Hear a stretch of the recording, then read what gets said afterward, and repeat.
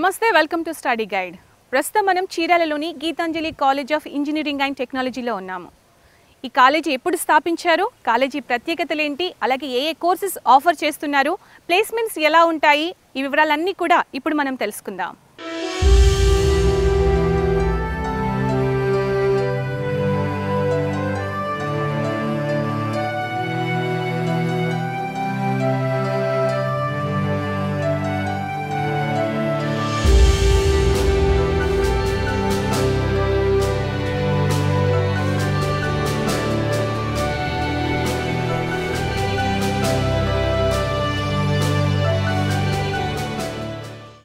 ప్రస్తుతం మనం Geethanjali college of engineering and technology principal doctor Uday Kumar గారితో ఉన్నాం. వారితో మాట్లాడి ఈ కాలేజీ ప్రత్యేకతలు ఏంటి అలాగే ఏ బ్రాంచెస్ ఆఫర్ చేస్తున్నారు ఏ కోర్సెస్కి ఎలాంటి ఫెసిలిటీస్ ఇక్కడ ఉన్నాయి ఎలాంటి ప్లేస్మెంట్స్ ఉంటాయి ఈ వివరాలన్నీ కూడా వారి మాటల్లో తెలుసుకుందాం. నమస్తే సార్. నమస్తే అండి.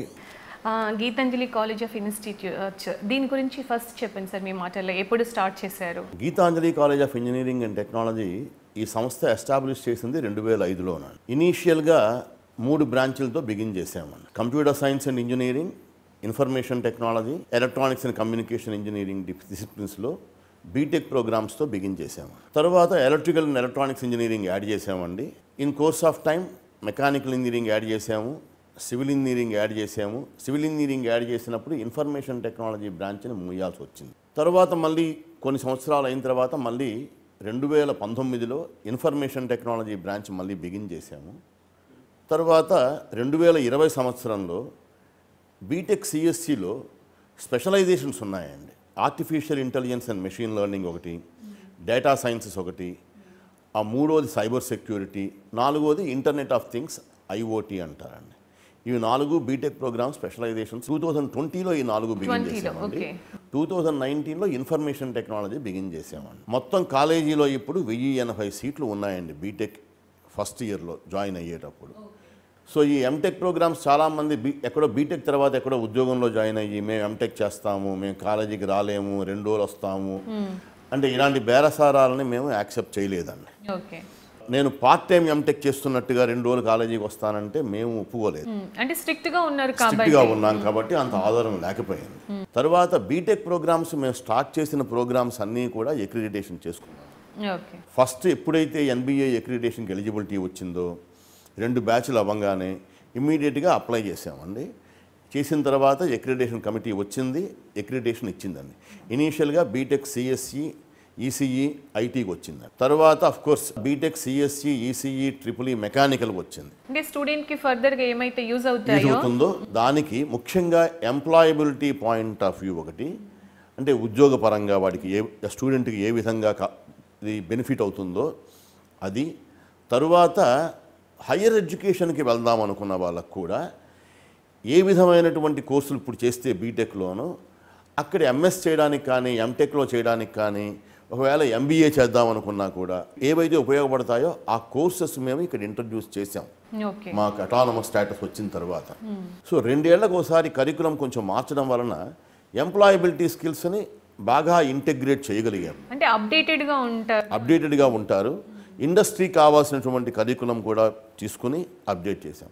తర్వాత మా బోర్డ్ ఆఫ్ స్టడీస్ అంటే సిలబస్ అయితే ఎవరైతే సిలబస్ ఎప్పుడైతే మేము డ్రాఫ్ట్ చేయాలో డిజైన్ చేయాలో దానికి యూనివర్సిటీ నామినీ ఉంటారు జేఎన్టీయూ నుంచి ఒకళ్ళు ప్రొఫెసర్లు. ఒక ప్రొఫెసర్ ఉంటారు ఈచ్ డిపార్ట్మెంట్కి. సిలబస్ ప్రిపేర్ చేయడానికి. వాళ్ళ సహాయం ఉంటుంది. అది కాకుండా ఇండస్ట్రీ వాళ్ళతోటి కనెక్ట్ పెట్టుకున్నామండి ఇప్పుడు ఫర్ ఎగ్జాంపుల్ మా కంప్యూటర్ సైన్స్ కరికులంలో మాకు ఇండస్ట్రీ నుంచి ఇన్ఫోసిస్ ఇండస్ట్రీ నుంచి ఉన్నారండి. తరువాత ఒరకెల్ ఇండస్ట్రీ నుంచి ఉన్నారండి. తర్వాత ఐఐటి హైదరాబాద్ నుంచి ఉన్నారండి. సెంట్రల్ యూనివర్సిటీ ఆఫ్ హైదరాబాద్ నుంచి ఉన్నారండి. ట్రిపుల్ ఐటీ హైదరాబాద్ నుంచి ప్రోత్సాహం తీసుకున్నామండి. సో ఈ కరికులం డిజైన్లో ఎక్స్పర్ట్స్ ఎక్కడెక్కడైతే ఉన్నారో ఇన్స్టిట్యూట్స్ హైదరాబాద్లోనే ఉన్నట్టు ఇన్స్టిట్యూట్ ఇన్స్టిట్యూట్స్లో వా ప్రొఫెసర్స్ని మా బోర్డ్ ఆఫ్ స్టడీస్లో మెంబర్స్ కింద చేసుకుని వాళ్ళకి రిక్వెస్ట్ చేసి వాళ్ళని ప్రత్యేకంగా వెళ్ళి కలిసి వాళ్ళని మేము ఏం చేద్దాం అనుకుంటున్నామో వాళ్ళకి ఎక్స్ప్లెయిన్ చేసి వాళ్ళని ఇన్వైట్ చేసామండి బోర్డ్ ఆఫ్ స్టడీస్లోకి. ఇది రెండు వేల పదహారులో జరిగిందండి ఇది. అంటే ఒక స్టూడెంట్ని బ్రైట్గా తయారు చేయడం కోసం మీరు ఎంత కష్టపడతారు అనేది అంటే ఆ కరికులం డిజైనింగ్లో కావచ్చు ప్రతి విషయంలో ఎంత కేర్ చేస్తారు అనేది మీ మాటల్లో అర్థమవుతుంది. అంటే ఒక స్టూడెంట్ కాలేజీలో జాయిన్ చేసేటప్పుడు వాళ్ళ పేరెంట్స్ వాళ్ళ యాస్పిరేషన్స్ చాలా ఎక్కువగా ఉంటాయండి. న్యాచురల్ కూడా అది. సో ఆ యాస్పిరేషన్స్ తోటి వాళ్ళు వస్తున్నప్పుడు ఇక్కడికి వాళ్ళ యాస్పిరేషన్స్ని మేము అంటే షాటర్ చేయకూడదు వాటిని. వా యాస్పిరేషన్స్ని ఇంకా అంటే వాళ్ళకి అనుగుణంగా మేము చేయాలి ఏం పని చేసినా. ఆ విధంగా కరికులం కానీ వాళ్ళకి ఇచ్చేటువంటి స్కిల్స్ కానీ తయారు చేస్తూ జరిగింది. ఈ లాంగ్వేజెస్ మీద ఫోకస్ అన్నది మేము ఇక్కడ పెట్టాం వీళ్ళకి. ముఖ్యంగా ఇప్పుడు వెర్నాక్యులర్ మీడియం నుంచి వస్తారు రూరల్ ఏరియా బ్యాక్గ్రౌండ్ నుంచి వస్తారు రకరకాల బ్యాక్గ్రౌండ్స్ నుంచి వస్తారండి. వాళ్ళ గురించి మంచి ఇంగ్లీష్ లాంగ్వేజ్ స్కిల్స్ ల్యాబులు పెట్టాము. సాఫ్ట్వేర్స్ వాడుకుంటున్నాం వాటికి. తరువాత ఫస్ట్ ఇయర్లోనే క్రియేటివ్ రైటింగ్ అని ఇవ్వడం పెట్టడం మొదలుపెట్టాము తరువాత వాళ్ళు సెకండ్ ఇయర్కి వచ్చేటప్పటికి ఒక ఇంగ్లీష్ మొత్తం ఐదు ఇంగ్లీష్ కోర్సులు పెట్టామండి. రెగ్యులర్గా జేఎన్టీయూలో ఉండే కోర్సులు రెండే ఉంటాయండి. మేము మరొక మూడు నాలుగు కూడా పెట్టాం మేము. ఆరు కోర్సులు పెట్టాం మేము. అంటే సిచ్యువేషనల్ రైటింగ్ ఒకటి క్రియేటివ్ రైటింగ్ ఒకటి ఇంగ్లీష్ ఫర్ ప్రొఫెషనల్ సక్సెస్ అని ఒకటి ఇటువంటి ఇంటర్పర్సనల్ స్కిల్స్ కోర్సులు సాఫ్ట్ స్కిల్స్ కోర్సులు ఇవన్నీ కూడా ఫస్ట్ ఇయర్ నుంచి ఇవ్వడం మొదలు పెడుతున్నాం మేము అది. So third year second semester అయ్యేటప్పటికి వీళ్ళు ఒక ఆరు ఇంగ్లీష్ లాంగ్వేజ్ కోర్సులు చేయడం వలన వీళ్ళకి ఇంగ్లీష్లో ఫ్లూయెన్సీ వస్తున్నదండి. నిజానికి ఫోబియా ఉంటుంది. ఇప్పుడు మీరు ఇంతకు ముందు అన్నారు రూరల్ బ్యాక్గ్రౌండ్ నుంచి వచ్చే పిల్లలకి మేము మింగిల్ అవుతామా లేదా వీళ్ళు చెప్పేది అర్థమవుతుందా లేదా అనేది ఒక క్వశ్చన్ మార్క్ ఉంటుంది. సో అదంతా కూడా మీరు తీసేస్తారు. They get demist that demystify అనేది అయిపోతుంది అనమాట అంటే భయం అన్నది పోతుంది పూర్తిగాను లాంగ్వేజ్ మీద. తరువాత మేము ఇంకొక పని ఏం చేసామంటే ఒక్కొక్క కోర్సులోనూ ఒక ప్రాజెక్ట్ చేయిస్తున్నామని ఆ ప్రాజెక్ట్ చేసేటప్పుడు ఒక టీంలో ముగ్గురు కానీ నలుగురు కానీ కలిసి చేస్తారు ఆ ప్రాజెక్ట్ని. ముగ్గురు నలుగురు కలిసి చేయడం వలన interpersonal skills team orientation skills first year నుంచి అలవడతాయి వాళ్ళకి. అది ఎలా బిహేవ్ చేయాలి గ్రూప్ ఓరియంటేషన్ స్కిల్స్ అన్నది. ఆ తర్వాత అమ్మాయిలు అబ్బాయిలు కలిసి కూడా ప్రాజెక్టులు చేస్తూ ఉండడం వలన ఈ జెండర్ సెన్సిటివిటీ అన్నది తగ్గుతూ వస్తుంది కాస్త వాళ్ళకి. కనీసము ఒక ఎనిమిది ప్రాజెక్టులైనా చేసి ఉంటారండి వీళ్ళు. సో ఫైనల్ ఇయర్ ఫస్ట్ సెమిస్టర్లో కంపెనీస్ వస్తాయండి ప్లేస్మెంట్స్కి మా దగ్గరికి. వచ్చేటప్పటికి వీళ్ళు ఒక ఎనిమిది ప్రాజెక్టులు చేసి ఉంటారు వీళ్ళు. ఎనిమిది సార్లు రిపోర్ట్స్ రాసుంటారు వీళ్ళు ఇంగ్లీష్లోను. తర్వాత ఎనిమిది సార్లు వీళ్ళు ప్రజెంటేషన్ ఇచ్చుంటారు. వీళ్ళకి కొంత అవగాహన ఉంటుంది వేరియస్ సబ్జెక్ట్స్ మీదన. కొంత డెప్త్ వస్తుంది. బేసిక్స్ అయితే క్లియర్ అవుతాయి చాలా మట్టుకి. ఇది అవడం వలన ఈచ్ వాళ్ళు ఎప్పుడైనా వీళ్ళు రిటర్న్ టెస్ట్ కనుక క్వాలిఫై అయిన తర్వాత యాప్టిట్యూడ్ టెస్ట్ క్వాలిఫై అయిన తర్వాత ఇంటర్వ్యూస్లో వీళ్ళు నువ్వు ఏం చేసేవు? అని అడిగినప్పుడు ఈ ఎనిమిది ప్రాజెక్టుల మీద వీళ్ళు ఎక్స్ప్లెయిన్ చేస్తే ఈచ్ ప్రాజెక్ట్ మీద కనీసం మూడు నిమిషాలు మాట్లాడిన వీళ్ళు ఇరవై నాలుగు ఇరవై ఐదు నిమిషాలు పడుతుందండి అది. నాన్ స్టాప్గా. నాన్ స్టాప్గాను సో ఎంప్లాయర్ కూడా రిక్రూట్ చేసే వాళ్ళకి అడ్వాంటేజ్ ఏం అంటే వాళ్ళకి ఏమనిపిస్తుందంటే అరే ఈ స్టూడెంట్ ఒక ఇరవై నాలుగు నిమిషాల పాటు ఎనిమిది కోర్సులు ఏవో ఎనిమిది ప్రాజెక్టులు చేసేడు వీడు. చేయడం వలన వీళ్ళకి కొంత అవగాహన ఉంది వీళ్ళకి. వీళ్ళకి మేము తక్కువ ట్రైనింగ్తో వీళ్ళకి మేము ఇండస్ట్రీలో అబ్జార్బ్ చేసుకోగలుగుతాం వీళ్ళని. అంటే ఇది బిల్లబుల్ ఫ్రమ్ డే వన్ అంటారు ఇండస్ట్రీలో. అంటే రా మెటీరియల్ కాకుండా ఆల్రెడీ తెలిసిన కొంత ట్రైనింగ్ కొంత ట్రైనింగ్ ఉన్న వాళ్ళని తీసుకోవడం వలన రా మెటీరియల్ కాకుండాను కొంత తెలిసిన వాళ్ళని. ఇండస్ట్రీకి కూడా కొంత బెనిఫిట్ ఉంటుంది దీని వలన. ఆ తర్వాత మేము ఇవన్నీ ఎలా చేయగలుగుతున్నామంటే మాకు ఇండస్ట్రీ ఎక్స్పోర్ట్స్ వాళ్ళతోటి మాకు కనెక్ట్స్ ఉన్నాయి. అండ్ తర్వాత ఇంటర్న్షిప్స్ అనేవి చాలా రెగ్యులర్స్గా ఇస్తున్నాం మేము. అంటే ప్రతి స్టూడెంట్ సెకండ్ ఇయర్లోనూ థర్డ్ ఇయర్లోనూ ఇంటర్న్షిప్ చేసి తీరాల్సిందే. మా కొంతమంది స్టూడెంట్స్ ఫస్ట్ ఇయర్లో కూడా చేస్తారు. ఈ ఇంటర్న్షిప్స్లో వాళ్ళకి వాళ్ళకి కంపెనీలు డబ్బులు ఇస్తాయి కొన్ని. ఆ నాలుగు వారాలకి వీళ్ళు కొంతమందికి రెండు వేల రూపాయల నుంచి పదివేల రూపాయల దాకా వచ్చేయండి. గుడ్ ఇంటర్న్షిప్స్లో ఫైనల్ ఇయర్ ఫస్ట్ సెమిస్టర్ తర్వాత వాళ్ళకి ప్రాజెక్ట్ వచ్చేస్తారు చాలామంది ఫైనల్ ఇయర్లో మాకు ప్లేస్మెంట్ అయిపోతుంది. ఫర్ ఎగ్జాంపుల్ ఈ ఏడాది మేము దరిదాపుల వెయ్యి ప్లేస్మెంట్స్ చేసామండి తొమ్మిది వందల తొంభై మూడు ప్లేస్మెంట్స్ అయ్యాయండి ఆ మధ్య దాకాను. ఇప్పుడు వెయ్యి కూడా దాటేయని అన్నారు. నేను కౌంట్ చేయలేదు ఈ మధ్యన. అంటే దరిదాపుల ఆరు వందల డెబ్భై చిల్లర స్టూడెంట్స్కి ప్లేస్మెంట్స్ వచ్చేయండి. అంటే కొంతమందికి మల్టిపుల్ ఆఫర్స్ వచ్చేయండి. శాలరీ ప్యాకేజ్ రెండు లక్షల రూపాయల నుంచి పద్నాలుగు లక్షల రూపాయల దాకా వచ్చిందండి వీళ్ళకి. యాక్చువల్గా సార్ అంటే ఇప్పుడు ఇంటర్ అయిపోయిన తర్వాత పేరెంట్స్ అందరికి కూడా పెద్ద సందిగ్ధంలో ఉంటారు. అంటే అసలు ఎలాంటి కాలేజ్ చూస్ చేసుకోవాలి ఏ బ్రాంచ్ చూస్ చేసుకుంటే మంచిది? చాలా మంది ఏంటంటే మా వాళ్ళు అది తీసుకున్నారు మా వాళ్ళు ఇది తీసుకున్నారు అని ఇన్ఫ్లుయెన్స్ అవుతూ ఉంటారు. స్టూడెంట్స్కి ఇష్టం ఉన్నా లేకపోయినా ఫ్యూచర్ అది బాగుంటుందేమని ఫోర్స్ చేసే వాళ్ళు కూడా ఉంటారు. సో ఆ విషయంలో స్టూడెంట్స్ ఎలాంటి బ్రాంచ్ చూస్ చేసుకోవాలి? బ్రాంచ్ చూస్ చేసుకునే ముందు అలాగే కాలేజ్ చూస్ చేసుకునే ముందు ఎలాంటి విషయాలు ఫస్ట్ తెలుసుకోవాలంటారు? మొట్టమొదటి కాలేజీ బ్రాంచ్ కంటే కూడానండి కాలేజీ ఇంపార్టెంట్. కాలేజీ ఇంపార్టెంట్ ఎందుకంటానంటే నేను ఒక మంచి కాలేజీలో ఇంపార్టెన్స్ మొట్టమొదటి చూడాల్సింది ఇన్ఫ్రాస్ట్రక్చర్ అండి. ఇవాళ రేపు చాలామంది లోన్లు తీసుకునేనా బిల్డింగ్లు అవి కట్టేస్తున్నారండి. తర్వాత ల్యాబొరేటరీస్ ఎస్టాబ్లిష్ చేసారా లేదా మంచి ల్యాబొరేటరీస్ అవి కూడా ఎస్టాబ్లిష్ చేస్తున్నారండి. తరువాత మోస్ట్ క్రిటికల్ పార్ట్ ఏంటంటే ఇంపార్టెంట్ పార్ట్ ఏంటంటే ఫ్యాకల్టీ అండి. ఎందుకంటే పీపుల్ ఆర్ నాట్ మ్యానుఫ్యాక్చర్డ్. ఒక మంచి ఫ్యాకల్టీని తీసుకురావాలంటే శాలరీ కాంపోనెంట్ ఒకటే కాదండి. వాళ్ళకి రీసెర్చ్ ఫెసిలిటీస్ ఇవ్వాలండి. తర్వాత వాళ్ళకి చాలా ఇంపార్టెంట్ ఏంటంటే గౌరవం ఇవ్వాలండి వాళ్ళకి. సీనియర్ ఫ్యాకల్టీని కనుక కాలేజీకి రావాలి అంటే ఓన్లీ ఆన్ ఇన్విటేషన్ వస్తారండి. సో మనము రకరకాల ఉన్న మంచి సంస్థల్లో ఎక్కడెక్కడ పనిచేస్తున్నారో వాళ్ళని ఐడెంటిఫై చేసి వాళ్ళని వెళ్ళి వాళ్ళతో పర్సనల్గా మాట్లాడి పర్సనల్ కాంటాక్ట్స్ పెట్టుకుని మెయింటైన్ చేసుకుంటూ వాళ్ళని ఇన్వైట్ చేయాలండి. నాకు ఉన్నటువంటి నెట్వర్క్ ఎస్టాబ్లిష్ చేసుకుని వేరియస్ కాలేజెస్లో మంచి టీచర్లు ఎక్కడున్నారో వాళ్ళు మన కాలేజీలో ఉండాలి. మీకున్న ఎక్స్పీరియన్స్ మొత్తాన్ని కూడా మీరు ఇలా తీసుకున్నారనమాట మేము కొన్ని ఎఫ్డిపిస్ అవి కండక్ట్ చేస్తూ ఉంటాం. కండక్ట్ చేసినప్పుడు మేము మా వాళ్ళు ఎఫ్డిపికి వెళ్తారు వేరే చోట్లకి. వెళ్ళినప్పుడు అక్కడ మంచి టీచర్లు ఎవరున్నారో మేము ఆల్రెడీ ఐడెంటిఫై చేసి ఉంటాం కొంతమంది వస్తారు. వచ్చినప్పుడు వాళ్ళతో పర్సనల్గా మాట్లాడతాం. వాళ్ళకి ఏ విధంగా మేము ఇక్కడ హెల్ప్ చేయగలుగుతామో చెప్పగలుగుతాం. ఇక్కడ మాకు డివిజను రీసెర్చ్ వ్యక్తిగలు ఈ group head research group head తర్వాత ఇది లీడ్ ఫ్యాకల్టీ వీళ్ళ వల్ల ఉండడం వలన ఒక పిహెచ్డి చేస్తున్న వ్యక్తిని మేము అట్రాక్ట్ చేయగలుగుతాం. అరే నీకు ఇక్కడ వీళ్ళు హెల్ప్ సహాయం చేస్తారు పిహెచ్డిలో నీకు వీళ్ళు.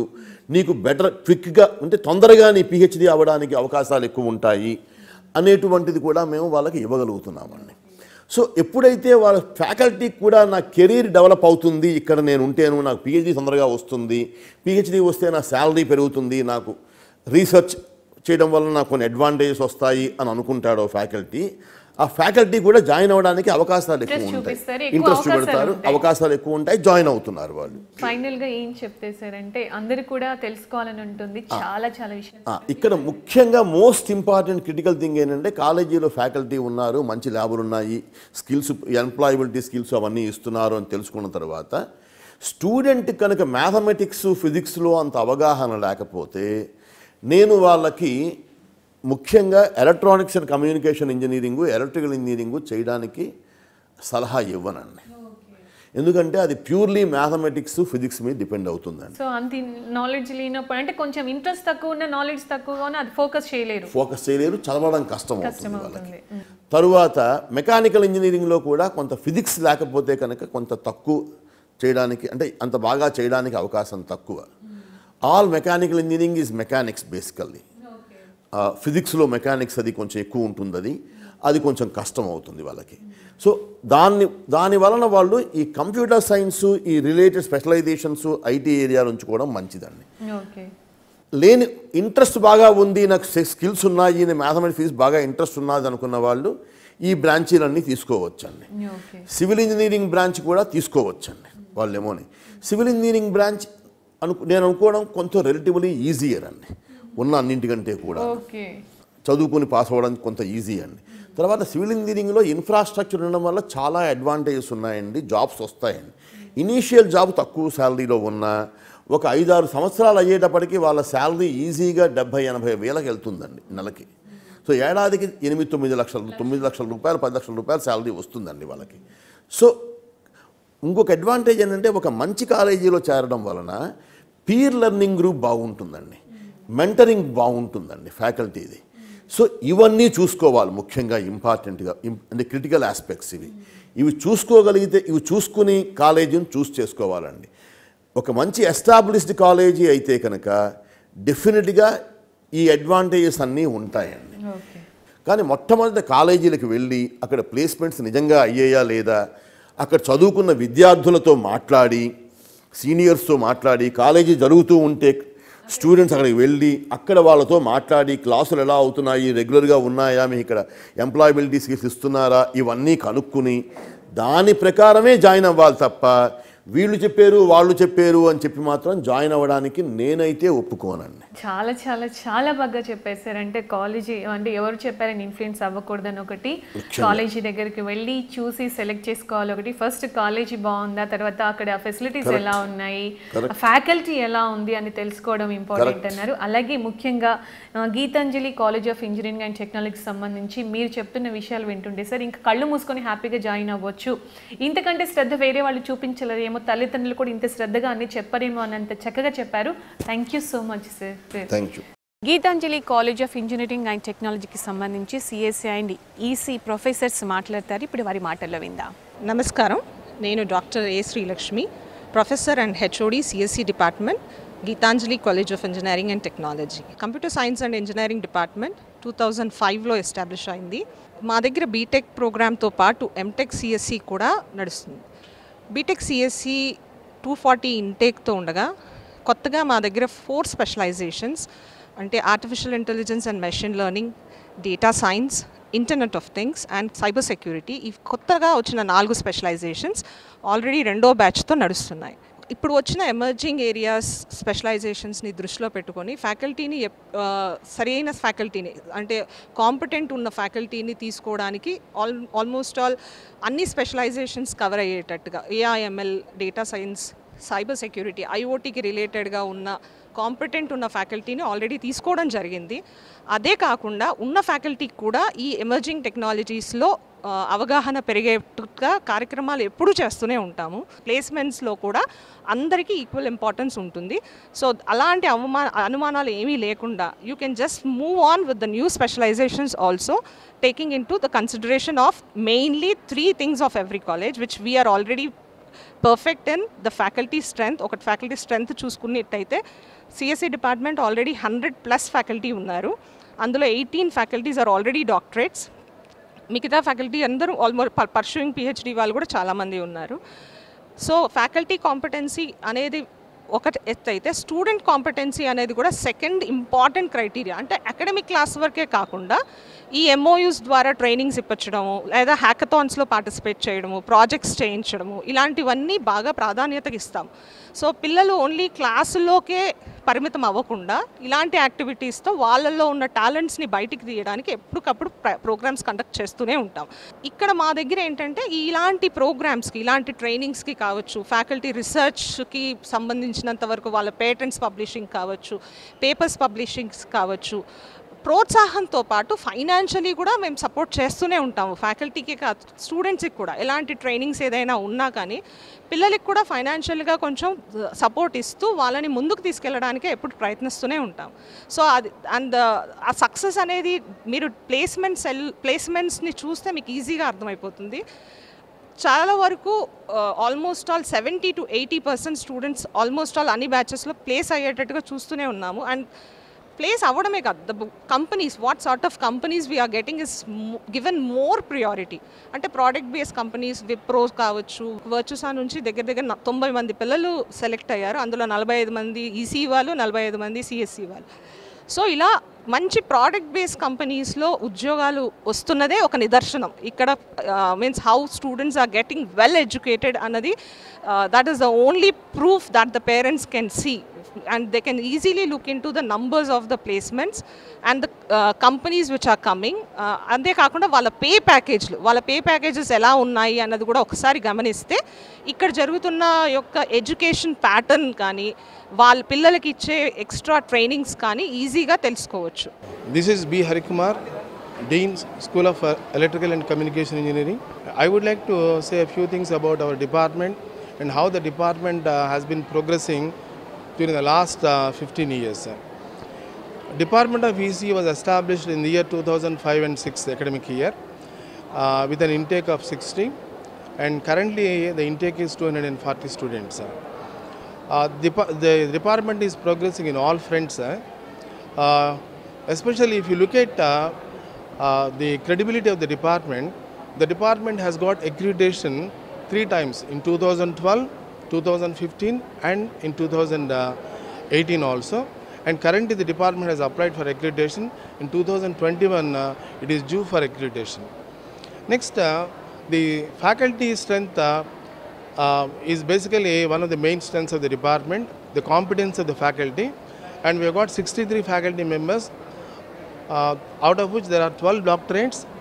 And uh, In fact, uh, if you look at the number of uh, faculty members uh, who, got, who, have got, more than 10 years of experience, ఈ two thousand nineteen pass out ఒక నూట ముప్పై మంది place అయితే twenty pass అవుట్కి one hundred and thirty five students place అయ్యారు and రీసెంట్గా two thousand twenty one pass out there is more than hundred and ninety two students one ninety two students place అయ్యారు so there is a drastic improvement in the number of placements similarly the number of students that is going for higher education it is also on the rise continuously two thousand ట్వంటీకి వెళ్తే మీకు ఏమవుతుందంటే ఒక ముప్పై ఆరు మంది students higher స్టడీస్కి MS America కానీ కెనడా కానీ ఆ విధంగా వెళ్ళారనమాట in fact one student IIM అహ్మదాబాద్లో కూడా సీట్ వచ్చిందనమాట ఎవరన్నా ఫ్యాకల్టీ కొత్తగా చేరితే మాకు అసోసియేట్ ఫ్యాకల్టీ అని ఇస్తాం అనమాట అంటే ఆ faculty who is new to teaching ఈ ప్రొఫెసర్స్ క్లాసెస్ అటెండ్ అవుతారు.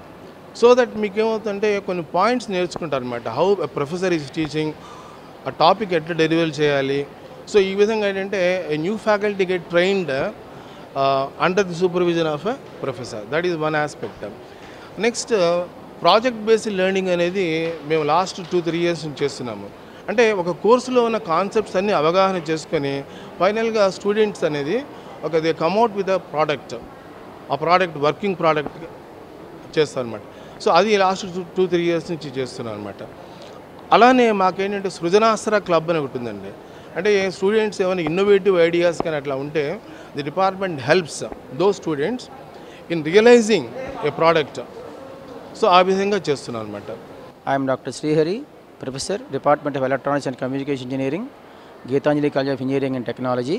As you know our strength our logo is itself is striving towards perfection So in that direction, what I say is our strengths are good, good student mentoring mechanism, and then good placement record, and innovative ICT-based teaching learning mechanism, problem-based learning, etc.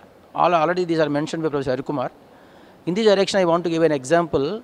15 to 20 students are assigned for each mentor, and those mentors will monitor the students throughout their four years until they got placed. That means up to 4-1.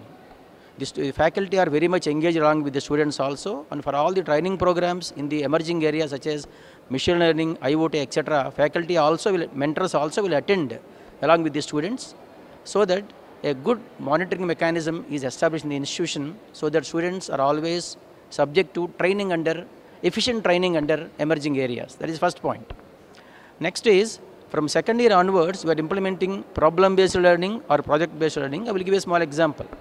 Say, we will give such type of problems to the students that, say, for example, the system is transmitting continuously a signal, alarming signal, which is corrupted by noise at the receiving side. How to separate signal and noise? These are this is an example of one of the tasks given for students from second year onwards. By using the concept they learned during the academics, they will try to give the solutions for that. So ఆ రకంగా we're giving a good amount of training both technically as well as towards employability skills also are being provided for the students using Google classroom especially virtual industry visits are also we're conducting so that students are getting benefited in many ways and every course is being taught in an innovative way one or for example there is a mechanism by name three or when I am going to explain a subject, teach a subject, first uh, I am following a procedure called 3R. First R deals with what is the reason for running the course. Second R deals with what is the role of the course in the curriculum. Third is result. So this 3R mechanism is helping a lot for the students and we are able to get good results among the students also. With all these efforts put by us, we are able to get a place in the top 300 institutions in India. And I wish all the best for the aspirants. Thank you.